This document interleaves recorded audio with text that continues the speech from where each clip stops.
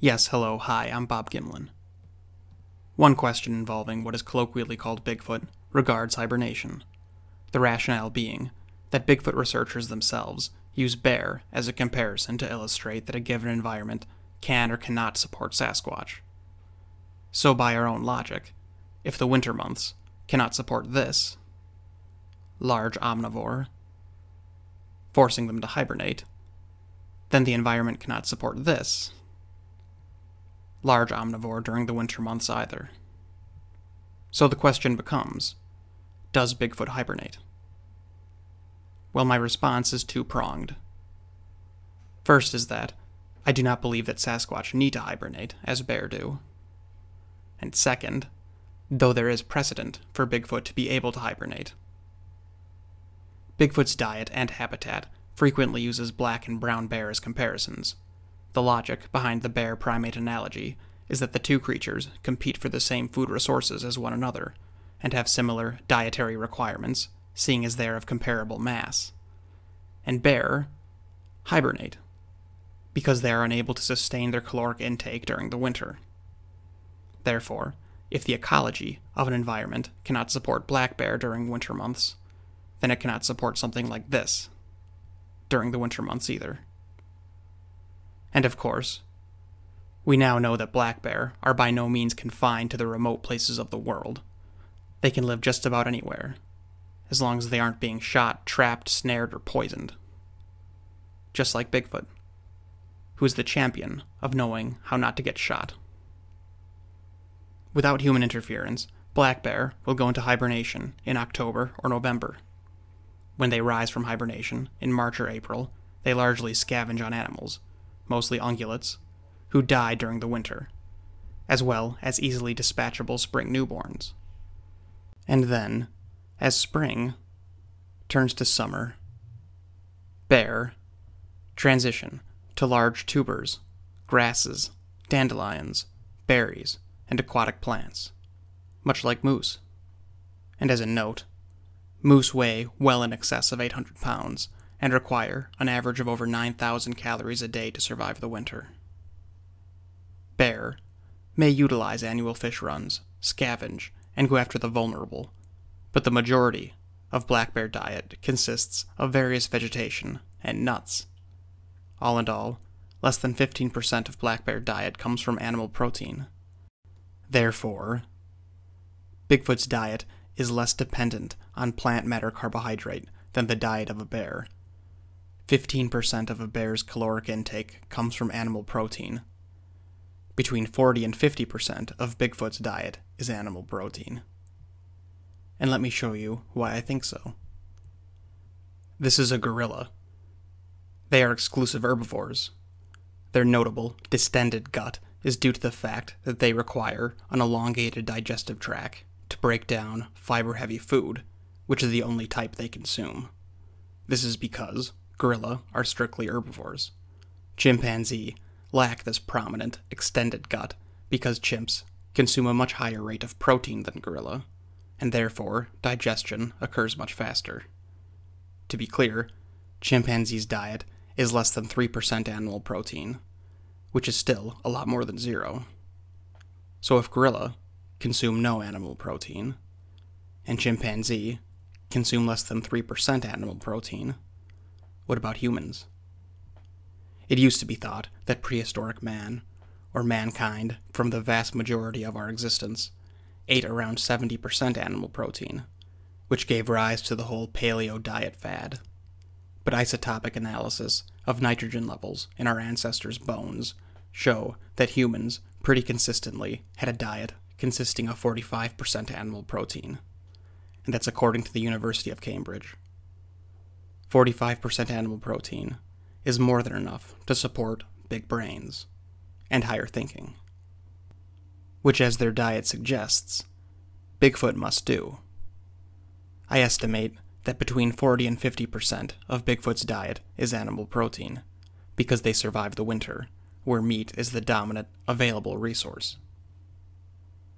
So if gorilla have essentially no animal protein in their diet, chimps have less than 3, imagine a primate that ate between 40 and 50% animal protein.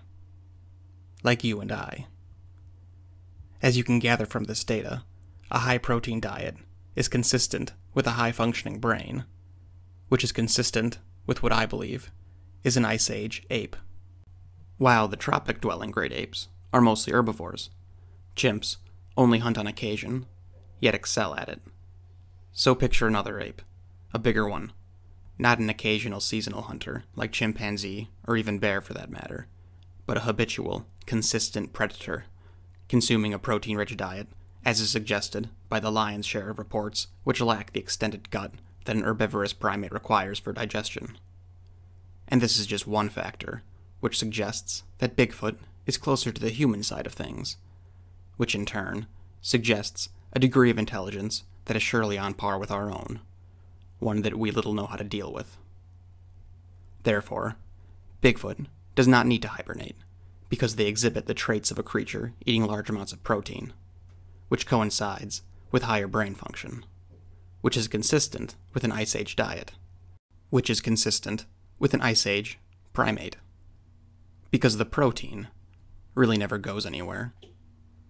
Whereas in the tropics, the vegetation never really goes anywhere. Tracking and utilizing the most available energy source is just nature's way. And in this case, vegetation is in perpetual availability. And in this case, the constant energy source is meat. If Bigfoot consumed the same diet as a chimp or a gorilla, or even as bear, dominantly plant carbohydrate, then Patty would have looked considerably more flabby, and would certainly be less mobile, which is not conducive to an elusive animal, but is conducive with a biped. And as a note, it is still the consensus that chimpanzee diet is 3% animal protein. I know someone out there is thinking that it has been recently proven that chimps do hunt. And though this is true, but their diet is still nowhere near high protein. But clearly, apes do hunt. Imagine a much more established and cunning hunting primate. Like man, only different, and probably better in many ways. A hunting primate is important to understand because it essentially means that Bigfoot would have a permanent food source over the winter. And because of this accessibility of a high protein, annually sustainable diet, I don't think Bigfoot hibernate. I think the effects of a high protein diet are also apparent in what is typically described. But North America is a place of extremes, and there are areas that Bigfoot allegedly dwell which probably could not sustain a large primate during a harsh winter. And though I think migration is much more likely than hibernation, hibernation is still a distinct possibility with primates. Because we know that some apes do hibernate, the fat tailed lemur, native only to Madagascar, hibernates during the summer to conserve water, of which there is essentially none. So there is a primate, isolated from other primates, that hibernates. So in the farthest reaches of its range, Bigfoot just might hibernate, just as black bears do not hibernate in the most southern reaches of their range, like this Florida black bear. And as a note, the laws of hibernation are odd. There are strange exceptions and bizarre additions. A prerequisite for the ability to hibernate is the ability to put on weight or store fat, and primates, myself included, are better at that than most animals. More evidence of distant human hibernation can be found in about 20% of all people. According to the American Family Physician, almost 20% of people suffer from seasonal affective disorder, also known as SAD, occurs when the days grow shorter, during a time of year which many animals hibernate. Symptoms of SAD are depression, desire to sleep, lethargy, and overeating, which is essentially your body asking you to hibernate. It is likely that SAD is a distant remnant of a time when either we or our ancestors hibernated like a biological safety net, as if to say, don't bother expending calories, you're not going to find them either way. If Bigfoot exists at all, which I am well and away convinced they do, then they are obviously extraordinarily intelligent. as is supported by a high protein diet, which negates hibernation for the most part.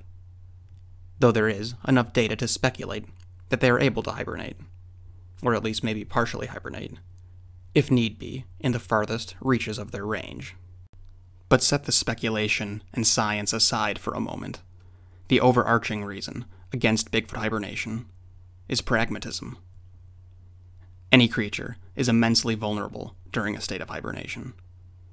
Not only are hibernators vulnerable when dormant, but they tend to be quite careless and reckless while gaining the required calories. And this creature I talk so much about is never reckless and never careless. Because we are looking at a creature whose primary prerogative is to reduce vulnerability. It is their survival strategy, and a smart one at that. So I do not think Bigfoot hibernates. And this is only one of many examples of Bigfoot's overall ecology mirroring our own, just as I believe their intelligence must. Hibernation and dietary comparisons may not be the most stimulating or attention grabbing of all the information swirling around Bigfoot on the internet, but they are large components of any creature's overall biology. And more often than not, all sums must be understood before an understanding can be gained of the whole. And regarding this creature, quite frankly, I don't think we're even close.